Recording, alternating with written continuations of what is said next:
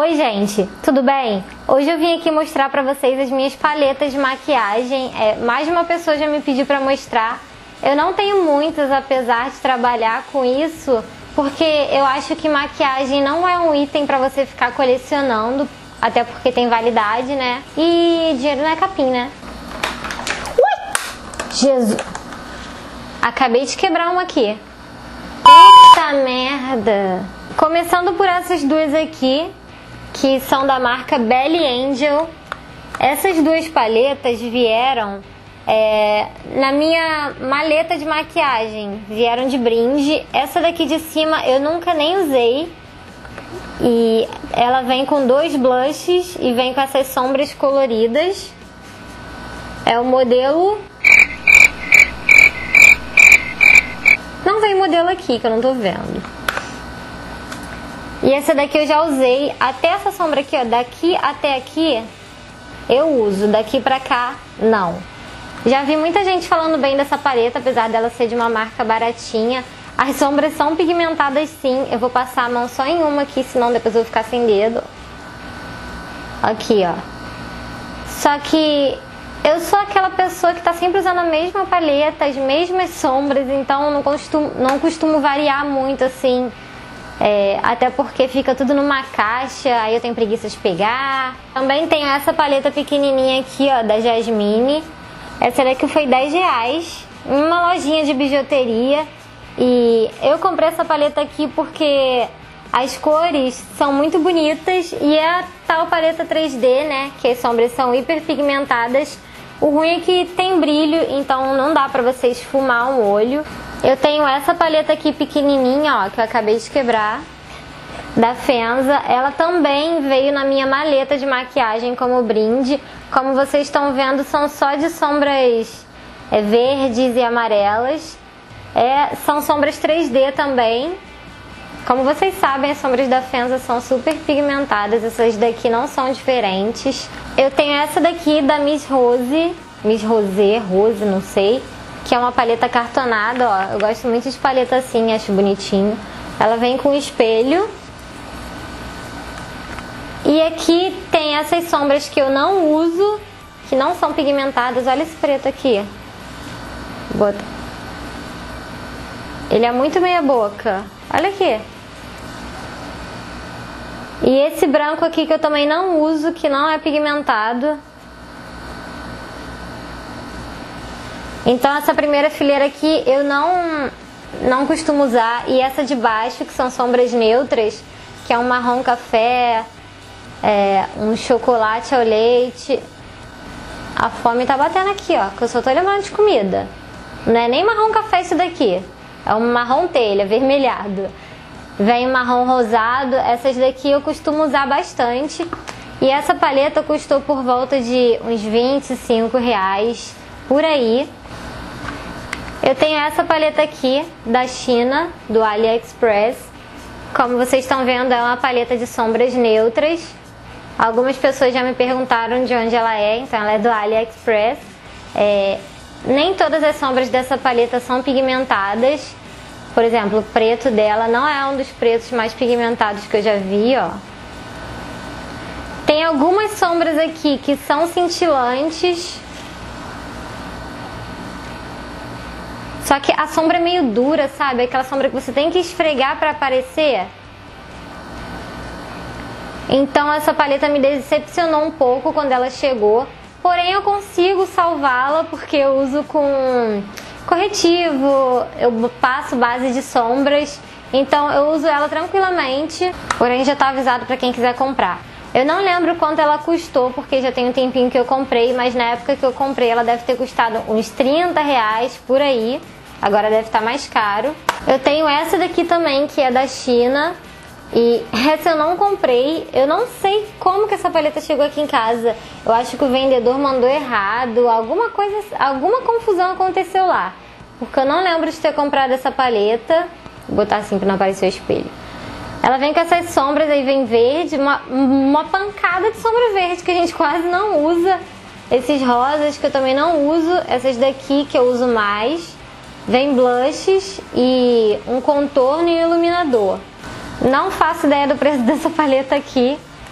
Não sei, ela é a paleta de 78 cores. Outra paleta que eu tenho aqui, mas que eu vou dar também. Essa paleta também veio na minha maleta. A maioria das paletas que eu tenho foi porque veio na minha maleta de maquiadora. E aqui ela parece um livro, ó. É a paleta da Fenza, vem com esse espelho enorme. Ali. E ela vem com esses duos. Tem dois duos que são iguais, não sei porquê. Vem 10 batons, dois pós e dois blushes. Como vocês sabem, as sombras da Fenza também. Eu já falei, né? Já falei. As sombras da Fenza são pigmentadas. Não sei preço dessa paleta. Eu vou passar o dedo aqui pra vocês verem. Eu nunca nem usei essa paleta na minha vida. Olha aqui. Como é que são pigmentadas. Talvez não esteja tão forte porque eu tô com uma iluminação bem forte assim no meu rosto. Aí tira um pouco da intensidade das cores. Essa paleta aqui eu vou dar pra alguém com certeza. Que ela é muito grande, ocupa muito espaço aqui. Outra paleta que eu tenho é essa daqui da Louis Anse. Ela custou 50 reais. É um modelo de paleta diferente, eu nunca vi por aí vendendo. Ela tem esse espelhão aqui e essas sombras, ó. São bem diferentes, né? Não são sombras 3D. Elas são bem pigmentadas também. E não são mates também. Elas têm uma cintilância, mas não chega, não chega a ser aquele 3D das sombras da Fenza, sabe? Eu vou passar o dedo para vocês verem. Olha aqui. São bem fortes também. Eu nunca usei essa paleta. Comprei e não usei. É muita falta de vergonha na minha cara. Aí eu faço assim, ó. E daí aqui eu tenho blushes e iluminadores. Tenho três batons e tenho duas sombras cremosas com glitter. Mas é aquela sombra que você passa, mela sua pálpebra toda e não sai o glitter. Os blushes dela também são bem pigmentados. Vou mostrar pra vocês. Aqui, ó. Essa daqui também é uma paleta que com certeza eu vou dar pra alguém. Tenho essa paleta aqui, que é da Catarine Hill, que todo mundo tá cansado de ver aqui no canal. Que é a paleta que eu mais uso. A única coisa que me irrita é essa capa de CD Porém, a gente pode se quebrar, catar de outro CD em casa e essa parte sai. Então é bem prático para quem é maquiador, porque cabe na mão, né?